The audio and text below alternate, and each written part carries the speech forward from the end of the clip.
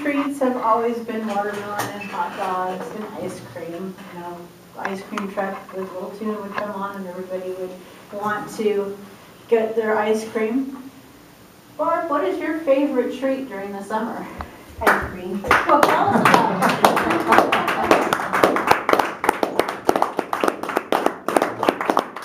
How do we do that? I like black licorice ice cream, it's my favorite. And of course, you wind up with black mouth, black teeth, black tongue, and everybody's going, ah, what are you doing that for?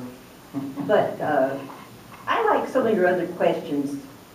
I'm going to go back to the one about what happened with an injury. And when I was eighth grade, I was quite a tomboy, and we were playing tackle football, my brothers and the neighbor kids.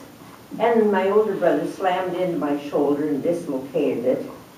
And that was the beginning of summer, so you see, I didn't get to go to the swimming pool because of this shoulder. Other experiences I had during the summer were, when I got old enough, I spotted the wheat truck in the field, and man, I was a big person, important.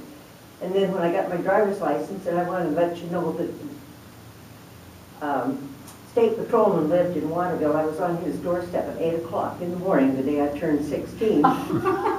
And I got my driver's license so I could drive to the elevators in town. And those were some of my experiences. I also rode horseback and herded cows and did all kinds of things in the summertime. And my summer was pretty much unstructured that way, but I got to do a whole lot of things I really liked to do.